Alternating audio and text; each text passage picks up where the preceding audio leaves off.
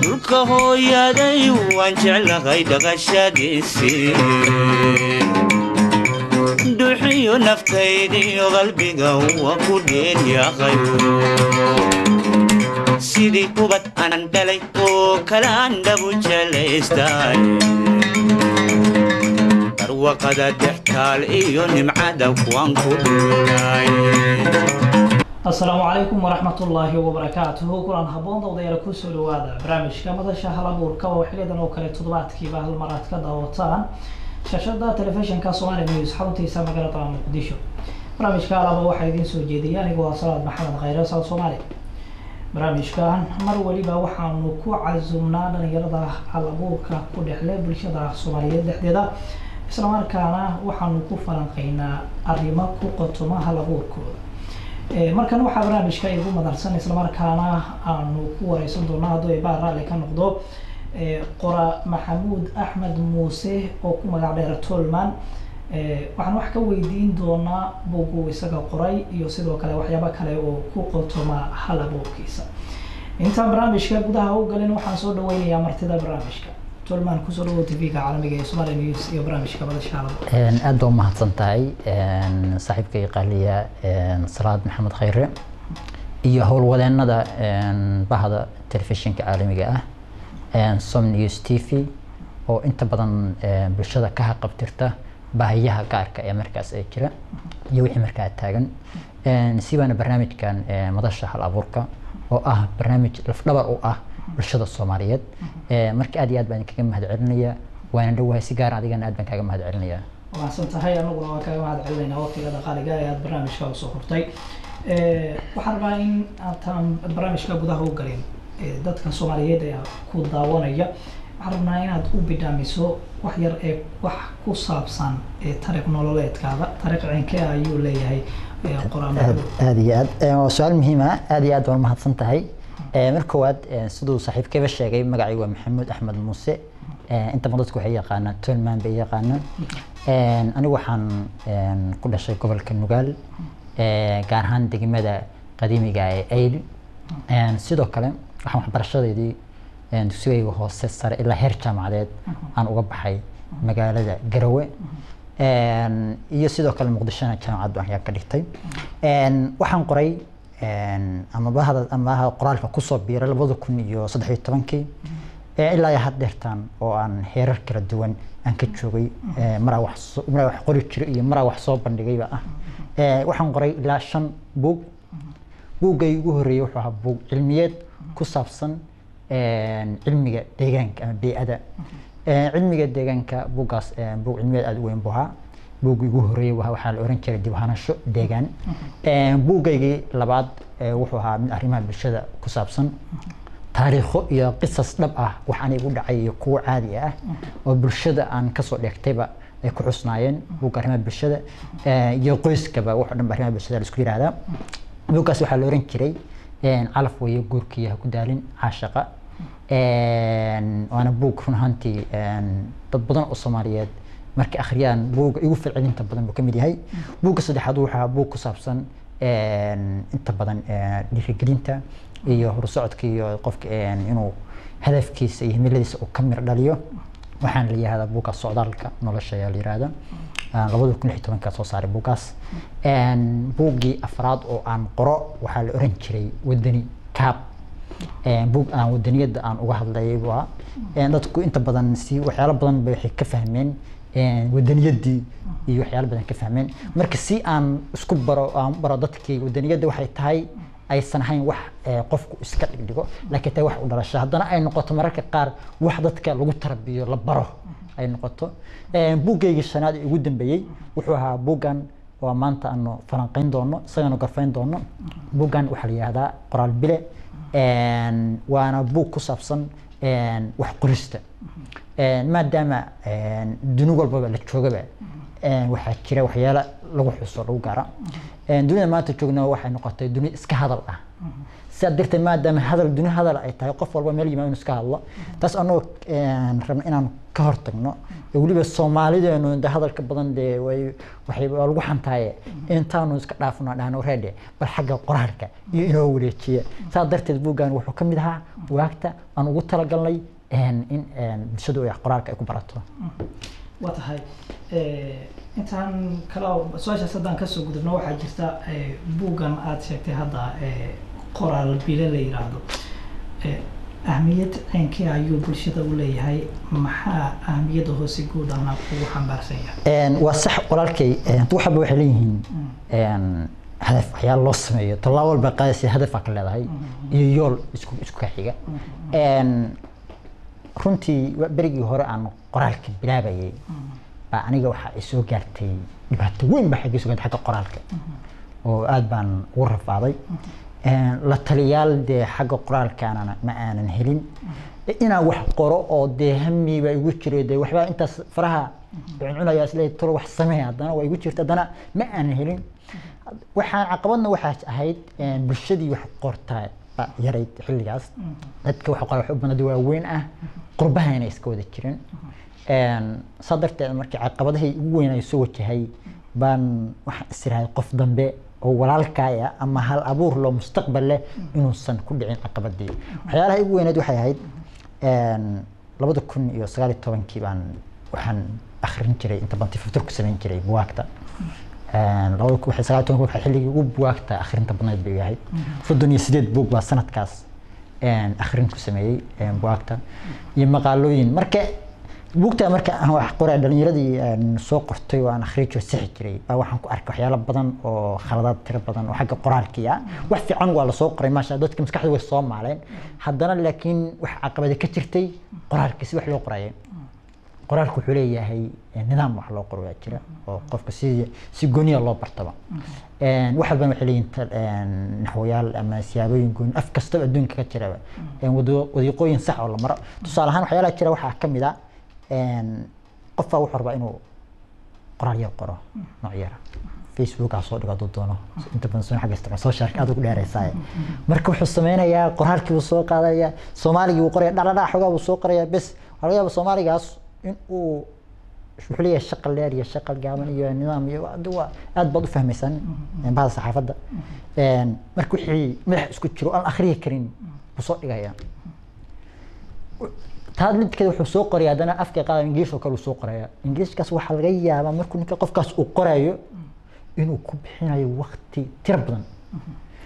Wuxuuna sameynayaa wuxuu la yaabaa hadduu xataa isagu si u aqoon inuu qof kale la kaashado bal inuu yahay saaxib bal sax een sidee yahay? Ma saxan yahay? Wuu ka fikiraya sida yuusan caqabadi kaaga imaan bulshada oo iyaysan ku dhaleecayn qofka adduunka af qalaada oo jajaban soo qora waxaa la oranaya "Ni wallahi waa afkaa ku cayaadhay laakiin la dhihi maayo soomaaligii baad ku cayaartay maxaa soomaaliga u gashay oo qof marka caqabadahaas oo badan oo jira awgeed baan anoo ka duulaya buuggan qoray si marka baahida qoraalka ay meesha eh, uga baxdo buuggan u noqdo qofkii een, waddada meesha keliya uu ka heli karo xogta iyo hab qoraalka wanaagsan. Waa tahay eh, waxaa kale buuggaaga inta aad qoraysay amase gudihiisa aad ku xustay eh, wax la yidhaahdo eh, islaamka iyo sidoo kale qoraalka waa mahadsan tahay saaxiibkay salaad adduunka xilligii calayhi salaatu nabi maxamed calayhi salaatu wasalaam la soo saaray. Wixii ugu horreeyey oo lagu soo dejiyey waxay ahayd iqra. Qur'aanka waxaa lagu soo dejiyey xilligii uu nabigu joogay qarniga dadku waxay ahaayeen dad sugaanyahana ah siiba dadkii carbeed oo quraash. Dad waxay afka maal af maal ah. Oo xagga sugaanta aada looga dambeeyo.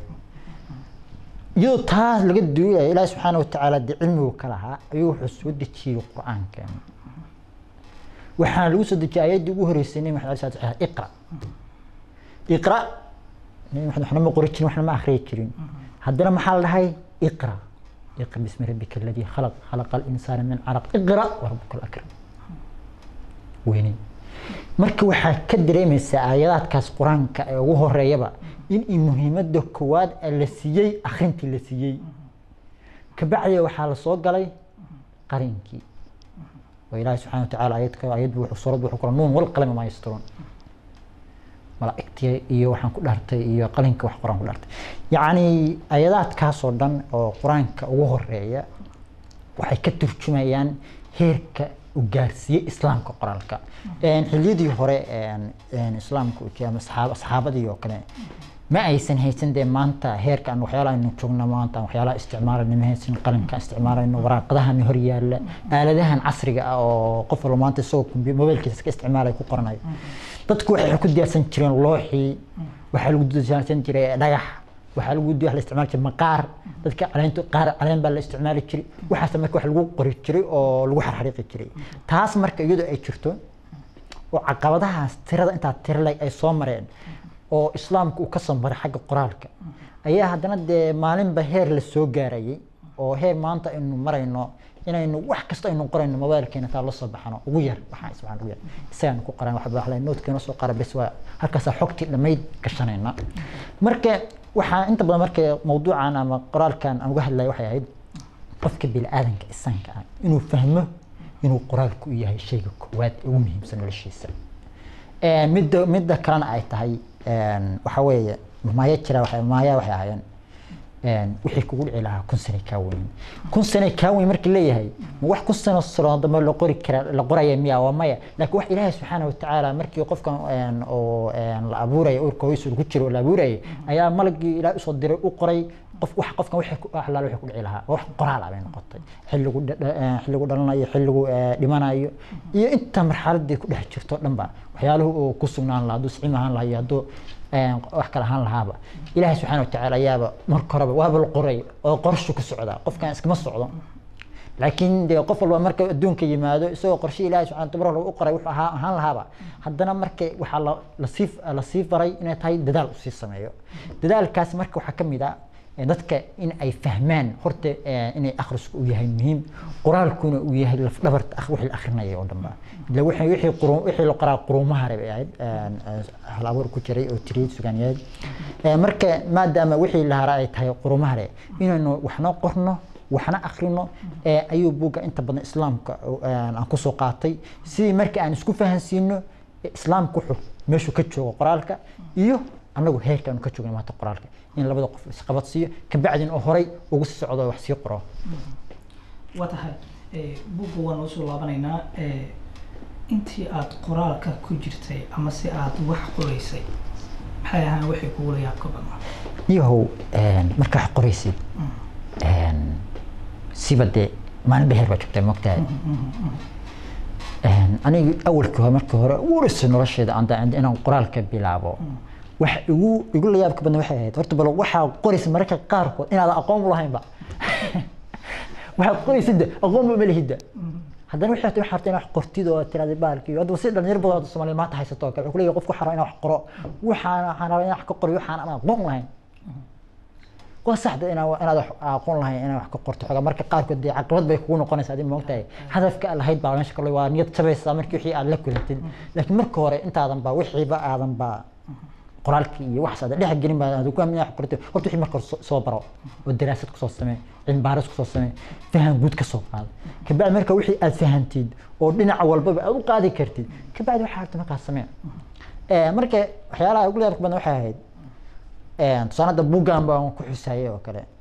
Eryada eryada qaabka tusaale ahaan qofaa wuxuu rabaa af qalaad inuu isticmaalo afka qalaad uu isticmaalayo waxay dee maadaama anagu aan soomaali nahay rabnana inaan afkeena hooyo aan kor u qaadno oo adduunyada aan la tartanno micno weynna u sameyn. Haddayna anagu marka micno ayna u sameyn soomaaligeena wuu lumayaa ma ogtahay?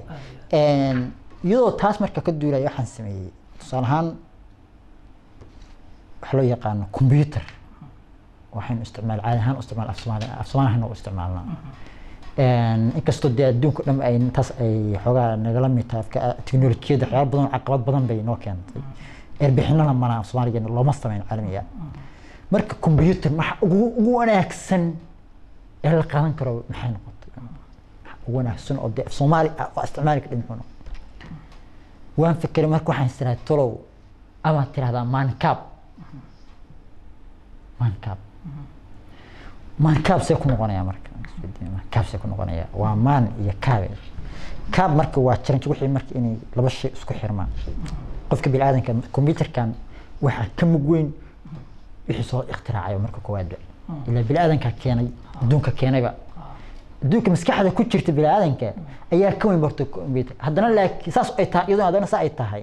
Haddana wax badan ayuu ku xafidi ka dhaagashatay adiga adigu aad ku xaraysatay marka waa wixiiyo maankiiyo xoogaa uu saacidaya. Meesha aad ilaawi lahayd ayuu xoogaa ku yara saacidaya. Marka maankaab marka computer mas kama qorin marka rabteed waxa iga jabay maankaabkaygii maankaabkaygii marka qoys inaad furtid way malamaanka lama yaqaane waa inaad ku qortaa computer. Si qofka kale u fahmo. Waxyaalaha kale mar dambe buugga marka dadka akhrinaya igu soo ceshay waxaa ka mid ahay tusaale ayuuna u soo qaadanayo cadrad cadrad waxaa la dhahaa sida caadiga af soomaali ahaan markaynu ka hadlayno waa gabar.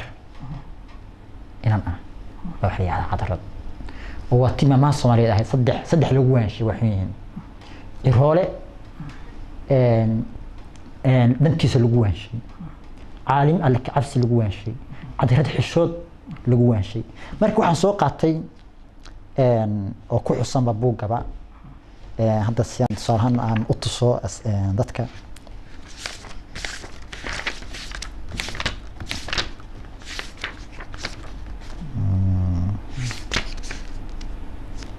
Oh,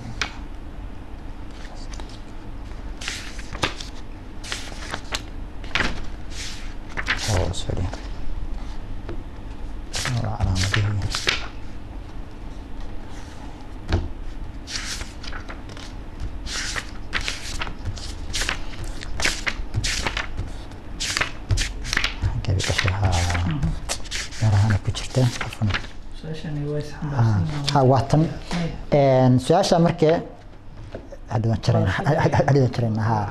tusaale ahaan oo kale tusaalooyin marka waxaan soo qaadanaya afafka afafka qalaad markaan isticmaalayno oo kale ama af oo kale inaan macnayn laba erey oo isku mid oo kale marka tusaale ahaan waxaan soo gatay dabdaac. Tusaalahan ku qoran buugga waxaan soo gatay dabdaac. Dabdaaca markee lama yaqaan. Dabdaac maxay tahay? Dabdaacu ka sheekani maxay tahay? Marka dabdaac dadka gobollada qaar siba waxaa looga isticmaalaa. Waqooyiga ama iyo gobollada dee inta badan waxaa loo yaqaanaa baalkii qaraxad koonfurta inta badan waxaa laga isticmaala jansigar jansigar iyo qaraxad qaraxadna carabiya weeye. Sarkiisaan jansigarna waa talyaani oo af qalaada laakiin annaga soomaali ahaan baa marka waxaa jira eriyo bixino asca oo erigaas u dabdaac. Dabdaac waa eri af soomaali u leeyahay. Waxaa kaloo ka mid a waxaa jira eriyo markee afafkeena ka mid ah laakiin dhintay. Xiliyada qundhaco qundhaco weligaa maqashay? Qundhaca qorax qoraxdii laakiin waa eriyo sii dhimanaya waaye. Waxaa kaloo ka mid a oo inta badan isticmaalna oo afkeenu hodan ku yahay dee marwo maxaas marka leenan xaas baan leeyahay xuli xaas baan leeyahay xilaan leeyahay marati baan leeyahay afaa leeyahay. Waa eriyo iska tira badan oo dee afkeenu hodan uu ku yahay. Marka maranti qofku haddii la marati baa leeyahay marati muxuu leeyahay ma fahmaayo marati muxuu ka wadaa qofka. Laakiin hadaa tira xaas baan leeyahay qof qof walba erey waxaa jira oo caam ah muddo dhanka dhexayso garanayso. Waa garanaya wuxuu leeyahay xaas waa garanaya. Marka waxaa jira hana tusaalahaan canab waa cadrad aada u caqli badan marka fahmay waxa laga dadka qaar fahmin ama dhalinyaro inta xilliga maanta joogta. Marka waxaa waa inay gabar marka qoys waa inaa furtid oo gabar ku muujisa tirada ereyga cadrad waxaa laga wadaa gabar. Marka qofka waa u fahmaya mar kastaba marka waxyaala u badan marka ta akhriyaan marka qaar kuleeya kuu soo celin afkaani waa adag yahay. Waa in af yaroo jilicsan mararka qaarkood in wax ku qortid wey marka tasna waa caqabado ee ka mid ah marka afkiina mar dee in la xoojiyo maadaama loo baahan yahay haddana leeyahay wixii waxaan ugu adkayne naga daayo waxaas jilicsan la fahmi karaa soo qor. Waa sax wax in la fahmi karaa waa meesha way ku jirtaa hadda laakiin wax waxna fahano oo loo baahan waxaan inaan kor u qaadno ilaashanona waa u baahanaa waa tahay waxaan rabaa inaan ogaado su'aashana ay tahay maxay tahay farqiga u dhexeeya ayaad isdhihi kartaa hal abuurka hadda jira iyo kii beresamaadka Een, farqiga u dhexeeya haddaan soo qaato een, horta waxaa kala bedelaya habba xaaladda marka lagu jiro Een, dadkii hore marxalad bay ku joogeen. Een, waxay haysteen jaanis iyagu xilligaas. Haddana waxaan ka maqnaa jaanis badan oo maanta dadkeena ay maanta jooga ay haystaan baa ka maqnaa. Tusaale ahaan xagga dadka suugaanyahanka markaan u leexano dadka hore waxay iska badnaan dad sida dee remiyi ah. Intooda markay wax tirinayaan waxay ku salayn jireen dhaqankooda miyiga ayay ku salayn jireen. Hadduu ninku eh, awaanka uu gabar rabo inuu ammaano dee wuxuu ku salayn jiray xaggii xoolihii marbuqa geelu soo qaadan jiray fardihii soo qaadan jiray soo ku masaalayo quruxda iyo haykalka ay leedahay. Mararka qaarkood wuxuu daa-uuska iyo xayawaanaadka aadka u naqaano kale ayuu soo qaadan jiray. Yacni wuxuu ku markii waxaa inta badan ninkaas uu fursad u haystay inuu afafka qaraad ay aysan ku soo milmin. Laakiin dadkeena maanta jooga halka caqabada haysta waxay tahay kow horta marka koowaad tiknolojiyad baa nagu soo siyaaday oo dadka hore aysan haysan. Midda labaad waxay tahay marka tiknolojiyadda laftirkeedii ayaa caqabad keentay oo ereyada la isticmaalayo ay noqdeen afaf qalaad oo anagoo naga baxsan oo afafkeena aan ahayn. Haddana maadaama een, tiknolojiyadda aynoo timaaday waxaa haddana yimaaday oo meesha soo galay xataa social media oo barihii bulshada.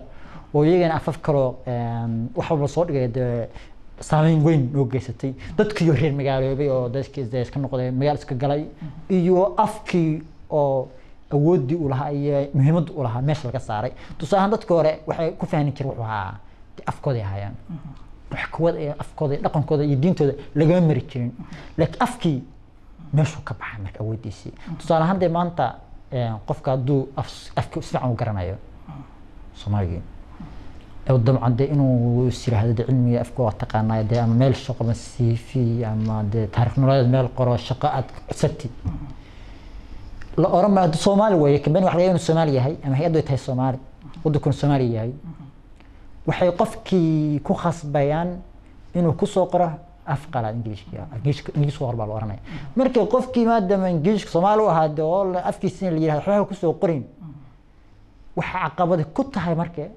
inuu yidhahdo afkan baas maxaa faa'iido igu jirta waan ka qoranayaa? maadaama dee ahmiyadba aysanba dadkii lahaa aysan siinaynba af qalaad buu isticmaalaya marka. Marka afka qalaad marka qofku u isticmaalayaba waaba luntayba abuurkii dhan baa lumay.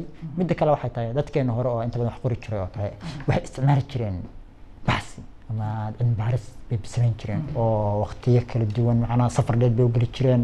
Qofka waxaa laga yaabaa inuu ilaa ay ku qaadato buug inuu qoro toban sano laba toban sano buugta qaar markaa buugta markaa labaatan sano loo qof wuxuu qoraya hal buuga. Laakiin buugga labaatanka sano uu qorayay waxyaalaha dee caqabadu waa iska jireen oo dee maadaama teknolojiyad aysan jirin. Uu qofku ku qorayo waraaq ama iyo qalin isticmaalayay oo laga yaabo mararka qaar in ay ayba ka lumaanba. Ama wixii uu rabay suu rabay waqtigi intuu wareejinayo waqti ay ku qaadato. Laakiin maanta qofkan wuu kacayaa wuu tegayaa meel buu tegaya xog buu soo ururinayaa isla markiiba wuxuu ku qoranayaaba. Laptopkiisi ama wuxuu soo qaaday mobilkiisa ku qoranayaaba. Bas uma baahna hadhowdina wuxuu koobi buu leeyahay wuxuu geenayaa. Een, meesha wordku ku kobi baasti ku leeyahay. Markii wixii baa waxay iska noqdeen wixii baa isbedelay. Haddana wax kastoo mar walba ay isbedelaan oo wax ku soo kordhaana waxbaa dhimanaya waxna waa soo siyaadayaan. Afkuna dee inta badan marna waxna waa dhintaa waana soo siyaada. Afkeenana hadda mararka qaarkoodna maalinba waxbaa imaanaya cusub wax hore u jirana waa dhimanayaan waa tegayaan marka waxyaalahaas oo kalea jira badan oo dadka dee farqiyada udhexeeya dadka hore iyo dadkeenan waa tahay. Markii kugu horeysay aada wax curiso yuu ahaa qofkii kugu dhiirigeliyey oo ku yiraahday maxaa yeelay alla ilaahay hal abuur ayaa kugu jira. Niyo horta waagii hore doo qofba dee waxbuu iska jecel yahay moogtahay waxaan iska jeclaan jiray sheekooyinka khiya- khiyaaliga ah. Een, dhalinyaro intaan meel iskugu nimaadno anigu waagol de asalkeed nin ribaadiyo ku soo koray oo ku soo dhashay oo rimiya baan ahaa. Anoo xoogaa nin fiican oo dee nin weyna baan magaalo soo galay kabacdi waxbarashada marka waxaan aad u jeclaan jiray sheekooyinka een, khiyaaliga ah meel awaalka ah intii la sameeyo oo markaas la abuuro oo waxaa laga dhowr qof saddex qof afar qof oo kale intaan meel ku wiil nin afar nin ka sheekee saaxiibo een, bal xaaladaada iyo waayahaaga ka soo waran ama dhacdo ka sheekee. Marka waxay kugu khasbaysaa inaa wixii aad wax curin ka isku adisid maanta tirada wax ma soo arkay saatan wixii aad ka faalootay. Marka qaarkood jacayl intaa soo intaa marka jacayl iyo sheekooyin jacayl intaa soo sameyno oo marka kood sheekahan baan us alifaynaa kabacdi waxaan marka inaan qoro. Marka labada kun iyo kow tobankii baan marka waxaan bilaabay inaan sheekooyinka waxaan siraada bal qoraalka sheekooyinka iska daysay barorto bal qoraal u leexo. Qoraalkan bilaabay marka. Sa marka wuxuu qorqorayay u qorqorayay u soo dhigi jira markaas ummadii dhalin dadkii kugu xiraa mar walba waxay leeyihiin iyo wax u baahannahay inaad wixii qoraal nooga dhigtid. Marka macnaa dee buuhaan nooga dhigtid. Bug maana qab bug xataa kuma fakerinba xataa nolosheeda inaa bugba qori doonaba kuma fakerinba marka uma dheg jara kuma siin. Waxaan sameeyey waa diyaarinta sheekooyinka warbaahinta idaacadaha localka ah magaalo ku yaalay baa waxaan samayn jiray. Iyagaan u samayn jiray sheekooyinka sheekooyin gaaban oo kale oo jimcaha iyo khamiista kale soo dejay dhalinyarada kale loo maaweliyo marka qaarkood igu soo marti qaadi jireen. Markii dadka falcelinta ugu badan oo iga imaan jiray waxay ahaayeen warniyow sheekooyinka maalin walba waa noo qortaaye wixiina waxa u baahanaa inaad buugba nooga samaysid. Waagaasa marka waxaan waxaan bilaabay in aan buug ka dhigo oo aan balbal buug aan buug la sheegayaba. Bal horta aan ka war doono waxba waa barashee mana aqoon dee buuggaas wuxuu ila ahaaba wax mucjisaaba wax saasa in la isku keenkeeno si la isku aadiyo saa loo qoro wax ila ahad wax cajiiba laakiin waagaasa markee waxaan bilaabay inaan qoridaas aan bilaabo buugtaba. Waa tahay buuggaana ayaan noo soo laabanaynaa markaan. Waxaa jirta meel aad kaga hadashay ahmiyadda qoraalka uu leeyahay iyo waxyaaba kala quseeya. Aada iyo aad. Maxay tahay ahmiyadda gaarka ee uu leeyahay qoraalka? Ahmiyadda gaarka uu leeyahay kow horta waxaa ka mid ah marka koowaad afkaagii baad ilaashanaysaa midda koowaad. Midda labaadna waxaa weeye waxaad mar walba marka adigii qofkeeda soomaaliga ahaa wuxuu ogaanay inuu leeyahay af isag u gooniya oo khaasa inuu leeyahay. Isla taa laftirkeeda ayuu haddana qofka kan wuxuu ku dhiiranayaa in uu afafka kale adduunka ka jiray in la tartamo. Tusaale ahaan xilligii cabaasiyiinta haddaan u soo noqono. Waxa afka afka carabiga wuxuu ahaa afka adduunka loogu loogu hadlo looguna jecel yahay.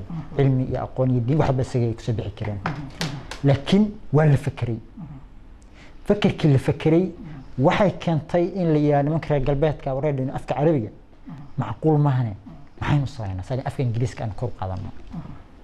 Oo isaga waxaan leenahay afka labaad waa noqona see markeese maxaan samaynaa saliyan inteenaan isku jinsiga ah aynu isticmaalno afkaas aynu kobcin maxay markay maxay sameeyeen waxay sameeyeen inay dawaagii dambe ee wadamadii ay gumaysanayeen afafkii looga tago afafkii lagu khasbay inay ku hadlaan afafkii qalaad. Afkii carabiga markee si tartiib tartiib ah buu meeshii uga baxay ingiriiska kor loo qaad hadda luqado kaleba iskula siyaadee marka taas iyadoo egto ayaa hadda anaguna afkeenina de uu ka yahay leeyahay afafka sii dhimanayuu ka yahay. Ayaa hadda waxaa muhiim ay noqotay dadka qalinleyd ah dhalinyaradu ku howlan yihiin maanta in afkii la soo nooleeyo. Oo qiimihii uu lahaa inuu yeesho. Haddayna anagu marka aynu qiimo u yeelin oo aynan qoran oo aynan ku hadlin oo ayna adeegsan qiimo yeelan maayo. Cid kale oo qiimo inoo u yeelaysana ma jirto. Haddana dee geeska africa marka la yihahdo afka keliya waxaa loogu hadalka badan yahay waaya oo ilaa waxa laga wadamo badan baa looga hadla kenya ethiopia soomaaliya jabuuti iyo iyo magaalooyinka qaar kale oo ku yaalla geeska africa marka taas iyadoo jeeda hadda marka waxaan u baahannahay inaan meel walba soomaali joogto in afkeeda iyadu ay horumariso ay ku dadaasho si uu u noqdo caalami ah oo afafka caalamiga ah uga mid noqdo. Marka waxyaalaha ugu muhiimsan uu leeyahay midda ugu weyn leeyahay waxay tahay in bal horta dad jira aan noqono. Haddaynaan afkeena uu dhinto dad jira ma nihin. Waayo dee waxa waxa nala ku sheega markaasi lama yaqaan. Waa tahay midda ayarna waa tahay qoraana waa tahay. Hami ayaad ka sii leedahay inaad wax sii qorto ama se aa wax sii curiso? Walaalkii waa run. Mar walba horta istirahdid yahow maanta bal intaas bal ku ekaysi qoraalkaaga. Haddana waxaa arkaysa mararka qaar baahiyo jira oo meel ka jira. Marka waxaad ku khasbanaanaysa intaad qarankaaga qaadatid inaad wax qortid. Qofka bini aadanka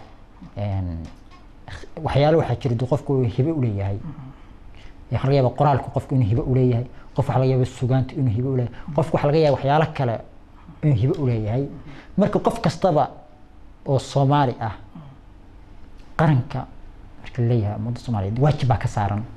Waxa waajib uga saaran yahay inuu qof walba meesha uga beegan uga qayb qaato. Tusaale ahaan hadda maanta haddii la weydiilay maxaa horta bal qarankaagi dadkaagi dalkaagi maxaa ku soo siyaatay maxaa soo qabata waa wax iyada meesha ku jirta. Marka taas iyadoo haddana ay jirto haddii adoo de wax qoraa ama tiraado wareer anigu hibaan leeyahay laakiin uguma faa'iideen waddankaygii. Iyaduna waa marka qaar waa caqabad jirta oo meeshii aan ka maqnayn. Marka saas darteed mar walbaba anigu waxaan sii jeclahay dilaayan fadhi inaan oo aan ku dadaalayo waxay tahay in afkeen uu noqdo afka afafka ugu caalamisan adduunka.